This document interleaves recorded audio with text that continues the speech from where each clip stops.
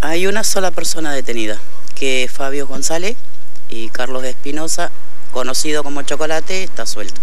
Está imputado... Está imputado en la causa, pero está suelto. ¿Cuándo lo Yo lo que quiero es que lo detengan antes del juicio, pero me va a ser imposible. Hasta que no salga el juicio, eh, no va a ir preso.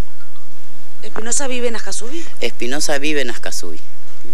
No en el mismo barrio porque cambió la casa, pero sí está en Ascasubi. ¿Qué le hicieron a su hijo? Espinosa le pegó dos fierrazos en la cabeza, en la nuca, lo había desnucado, le había quebrado la médula y González lo dejó yo. Pero peor que se deshuella un animal. mi hijo tenía 16 años. Era un chico que no molestaba a nadie, era amigo de todo. Pero yo lo único que pido es que no lo olvidemos a Jonathan. Eh, que la gente no se olvide, porque puede, ojalá que no, pero yo no quiero que haya otro Jonathan en ningún pueblo.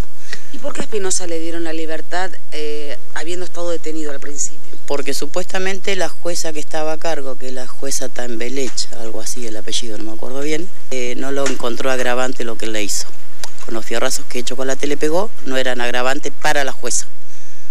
Pero yo tengo los testigos, eh, tengo las partes médicas, porque después, bueno, le tuvieron que hacer la autopsia, en la autopsia saltó todo. Pero por ese motivo eh, la jueza para él eh, no fue agravante. Y todos me dicen, ¿cómo que no fue agravante? Le quebró la médula al pie. Si el otro no lo dejollaba, si González a Johnny no lo dejollaba, yo a Johnny lo tenía prostrado en una cama eh, con un respirador artificial. Es lo mismo que, que estuviera muerto. ¿Tiene fecha de juicio? Todavía no. En este momento, después de esto, me voy a encontrar con mi abogado a ver qué me dice. Espero que sea pronto el juicio. Que no haya otro Jonathan, porque cada día me duele más.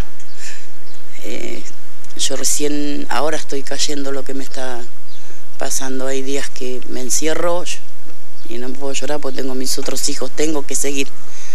Pero por dentro estoy destruida.